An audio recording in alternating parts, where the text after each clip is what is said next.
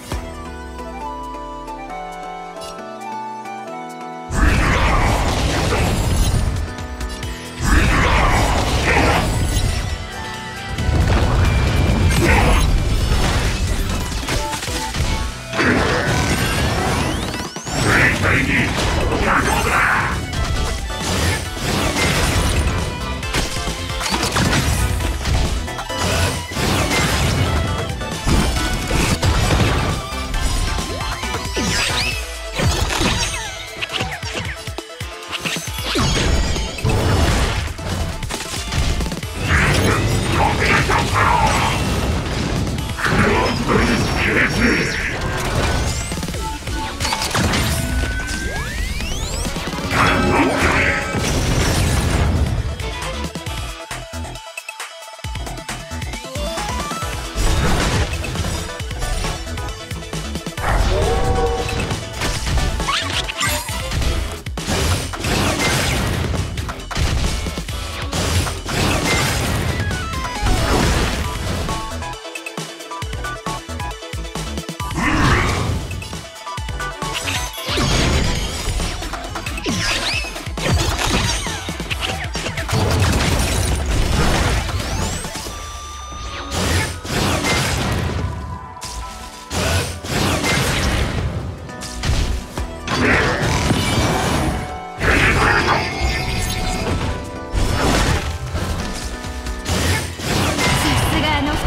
気に入りだね。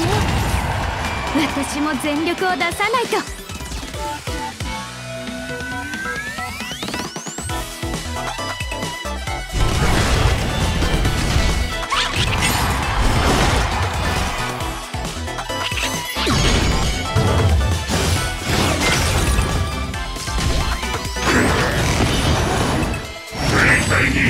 今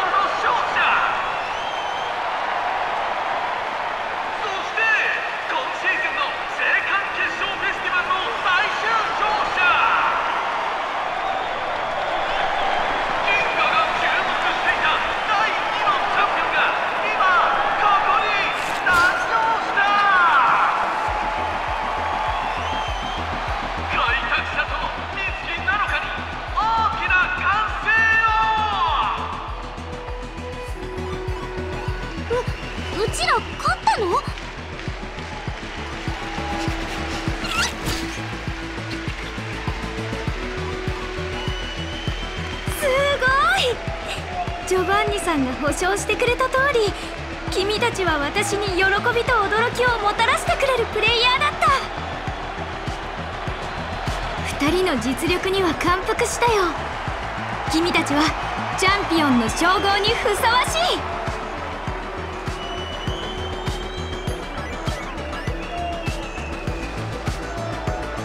い。いやいやまだ終わってないでしょ。ジョバンニさんが言ってたやり手プレイヤーのことを忘れたの 名誉に目がくらまないなんてすごいね。その通り。ジョバンニさんの構想だとこの決勝戦はフェスティバルの終わりじゃない。予想外のことでも起きなければ後で彼から今後の流れを共有するための連絡が行くと思う。でも今は疑問なんて忘れて勝利の余韻に浸るのもいいと思うけど。今回の青函決勝フェスティバルのチャンピオンの座獲得。おめでとう。